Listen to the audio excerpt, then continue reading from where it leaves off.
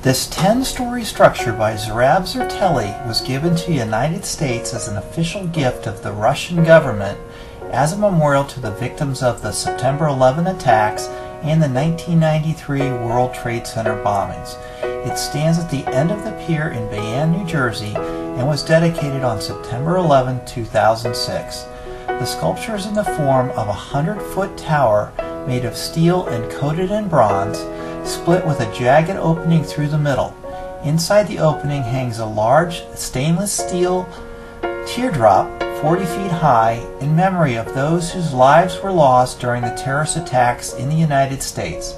The 11 sides of the monument's base bear granite nameplates on which are etched the names of those who died in September 11 attacks and the 1993 World Trade Center bombing. Thanks for watching. Now get out and explore.